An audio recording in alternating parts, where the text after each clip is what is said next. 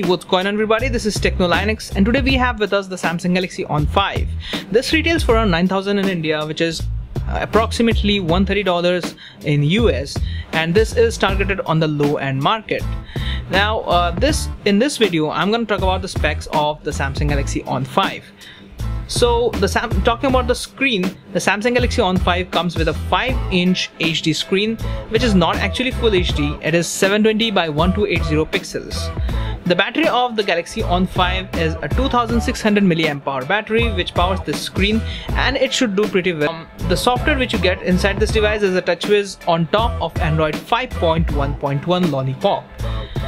The camera of this device is an 8 megapixel camera the back camera and you do have an LED flash and on the front you have a 5 megapixel shooter uh, these two cameras are seem to be doing pretty good. When I clicked some photos and you can check that video as well in my on my channel I have uploaded the camera overview of this device uh, which seems to be doing pretty well but we'll have a more uh, detailed overview in the coming days. Now you don't see any kind of lag on this device.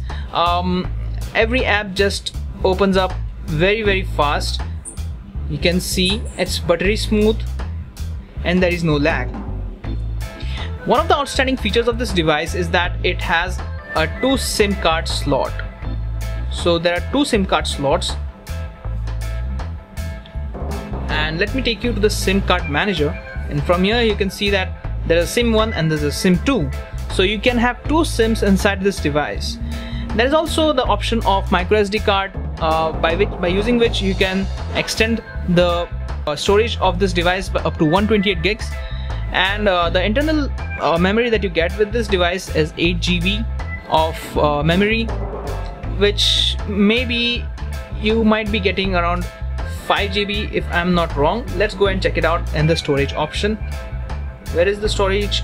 Here. Here you have the storage and there's it's showing that the total space is 8 GB 4.31 GB. I haven't installed anything on this device and you're getting a 4.31 GB memory. So you have to keep it, keep that in mind when you're buying this device that for using your apps and your games you'll have only 4.31 GB. The external memory card will just give you an option to um, store your movies or store your music apps but this memory is the one which you'll be using for store for installing your apps and games. So make sure you have that in mind and you get 1.5 GB of RAM. So that's pretty much it from the specs point of view. So make sure you subs subscribe to our channel, like and share this video and stay tuned for the next video. Till then bye bye and have a nice day. Yeah.